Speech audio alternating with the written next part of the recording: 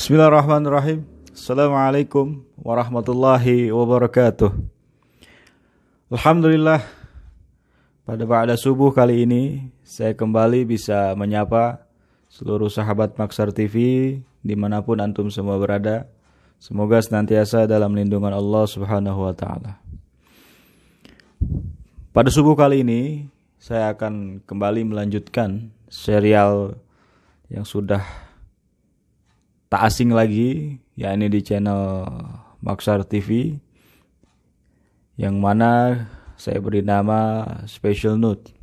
Kali ini kita akan coba membaca kembali Special Note part ketiga yang mana kali ini kita akan coba membahas fenomena perpolitikan nasional yang sedang ramai diperbincangkan di media sosial akhir-akhir ini yang mana pimpinan MPR RI desak Presiden Jokowi pecat Menteri Keuangan Sri Mulyani.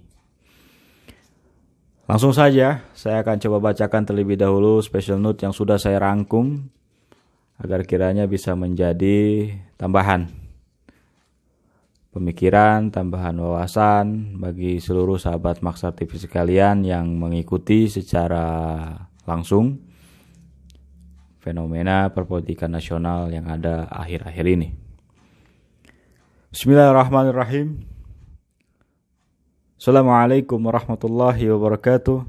Syukur alhamdulillah berkat rahmat Allah Subhanahu wa taala. Maka di hari Jumat ba'da subuh yang penuh barakah ini saya dapat berbincang santai dengan sahabat Maksar TV Channels di mana pun sahabat semua berada. Pada kesempatan ini saya ingin bincangkan ikhwal pertengkaran serius antara pimpinan MPR RI dengan Menteri Keuangan, Dr. Sri Mulyani Indrawati. Obrolan santai ini akan saya awali berdasarkan berita dari Kiswondari di sindonews.com. Berjudul Desak Jokowi Pecat Sri Mulyani, Wakil Ketua MPR. Ingat kami punya hak sidang istimewa. Nah, jadi ada salah satu wakil ketua MPR yang mengeluarkan sebuah statement yang mana e, berkaitan dengan ketidakpuasannya para pimpinan MPR ini dengan yang dilakukan oleh Menteri Keuangan. Jadi ada sebuah statement yang keluar dari pimpinan MPR itu khususnya para wakil MPR, ada salah satu wakil MPR mengingatkan bahwa mereka memiliki hak sidang istimewa.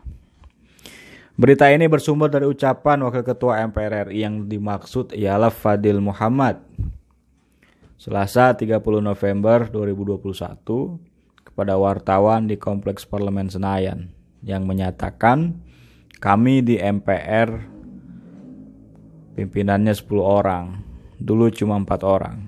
Anggaran di MPR ini malah turun. Nah, jadi ini berkaitan dengan anggaran, Saudara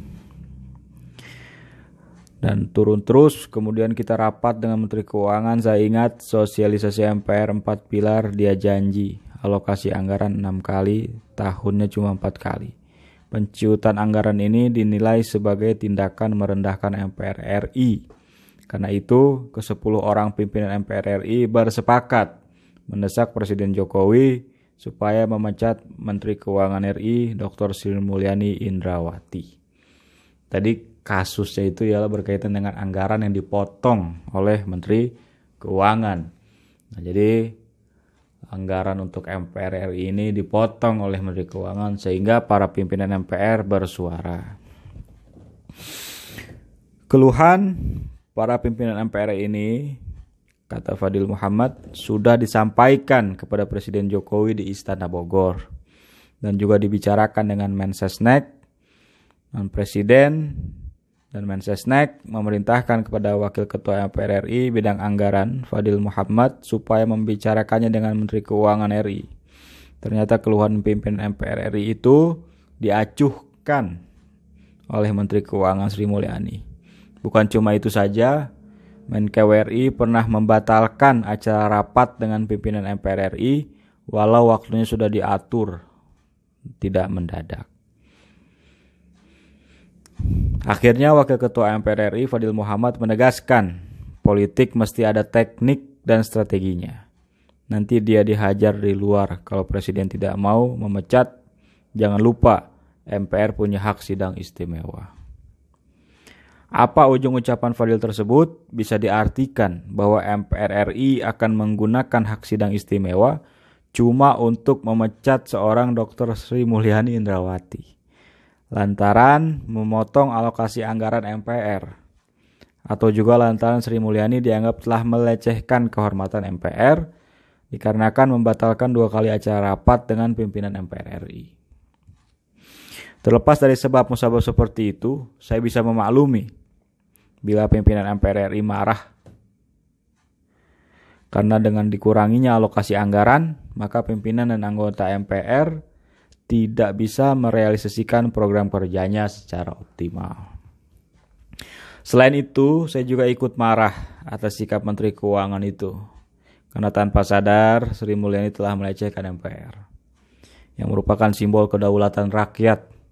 Sehingga bisa diartikan bahwa pelecehan terhadap lembaga MPR sama halnya dengan pelecehan terhadap kedaulatan rakyat.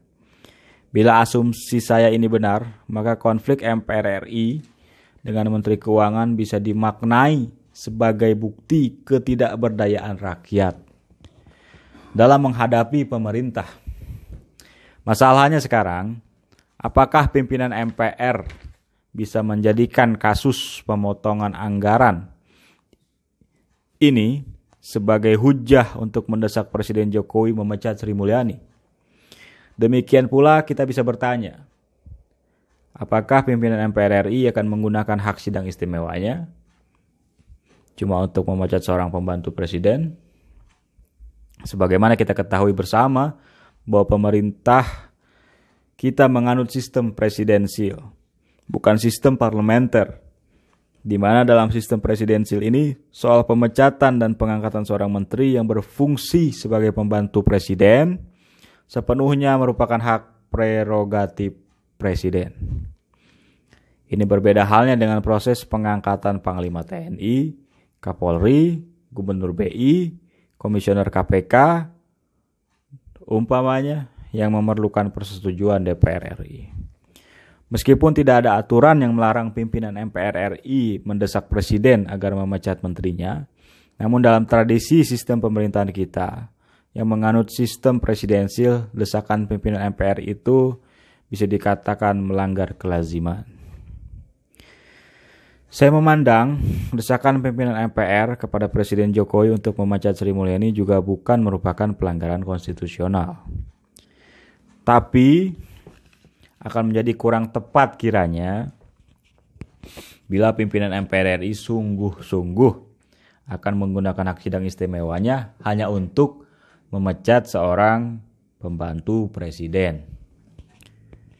Sejarah berbangsa bernegara kita telah mencatat aksi Dr. Amin Rais selaku ketua MPR yang menggelar sidang istimewa untuk melengsarkan Presiden Gus Dur karena Presiden Gus Dur mengeluarkan dekrit yang di antaranya berisi pembubaran DPR MPR. Saat itu pimpinan MPR menggunakan hak sidang istimewanya untuk memecat Presiden Gus Dur. Sekaligus memecat semua menterinya Gus Dur. Begitu juga Jenderal Abdul Haris Nasution selaku Ketua MPRS menyelenggarakan sidang istimewa MPRS bukan untuk memecat menteri atau gubernur Bank Sentral Yusuf Muda Dalam, Yusuf Muda dalam saja, melainkan juga untuk memecat Presiden Soekarno beserta para menterinya. Sekali lagi saya sampaikan, hal serupa walau tidak persis sama, Harmoko dan pimpinan DPR telah berhasil melengsarkan Presiden Soeharto berikut kabinetnya pada bulan Mei 98 yang lalu. Maka dari itu saya berpendapat agar pimpinan MPR RI yang sedang marah besar kepada Menteri Keuangan sebaiknya tidak tergesa-gesa dalam menggunakan senjata pamungkas, yaitu hak sidang istimewa. Saya teringat sebuah pepatah, jangan menembak burung gelatik dengan basoka. Dengan perkataan lain, urusan kekhilafahan Menkeu RI yang telah memotong anggaran belanja MPR sebaiknya dibicarakan secara kekeluargaan dengan Presiden Jokowi insya Allah akan ada jalan keluar yang terbaik yang ongkos politiknya tidak terlalu mahal. Barangkali kalau pimpinan MPR RI memang sudah bernafsu untuk menggunakan hak sidang istimewanya secara konstitusional, maka hujahnya jangan bertumpu pada masalah pemotongan anggaran belanja MPR belaka. Namun terlepas dari semua hal yang kita obrolkan di Jumat subuh ini, saya, saya sependapat bila pimpinan dan anggota MPR berusaha menguatkan bergaining positionnya sebagai pemegang kedaulatan rakyat. Sehingga segenap pimpinan dan anggota MPR RI berkenan mendesak Presiden RI untuk menegakkan Pancasila dan Undang-Undang 45 secara murni dan konsekuen sesuai dengan aspirasi masyarakat demi mewujudkan keadilan sosial bagi seluruh rakyat Indonesia. Akhirnya marilah kita doakan semoga pimpinan dan anggota MPR RI kita senantiasa berada dalam rahmat barokah Allah supaya benar-benar bisa memfungsikan dirinya sebagai pemegang kedaulatan rakyat yang pro rakyat berdasarkan jargon NKRI harga mati dengan semboyan bineka tunggal ika yang menempatkan semua orang sama kedudukannya di muka hukum. Saya yakin dengan kepemimpinan dan kewibawaan lembaga MPR dalam memerangi kezoliman dan ketidakadilan di seluruh wilayah hukum NKRI, maka bangsa dan rakyat Indonesia mampu menghalau semua musuh negara, baik yang datang dari dalam negeri maupun yang menyerbu dari luar negeri.